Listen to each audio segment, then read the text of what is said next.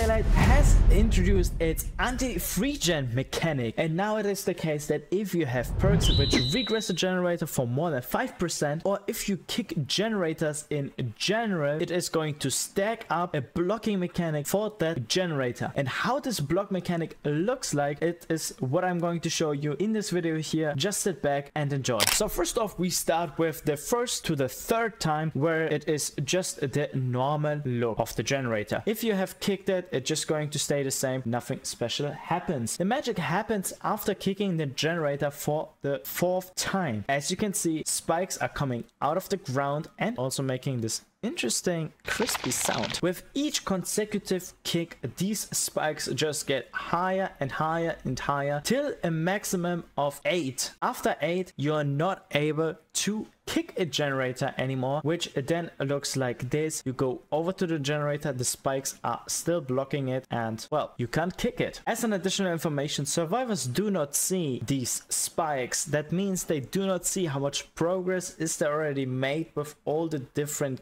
and exploding, and they can't play around this mechanic as easily. And of course, even if it is fully stacked up, survivors still have the possibility to work on the generator. What do you think about these changes, guys? Do you think this is enough to stop all the free genning? Or do you have the feeling that hmm, we're still far away from the solution? Let me know in the comments and see you in the next video. Bye bye.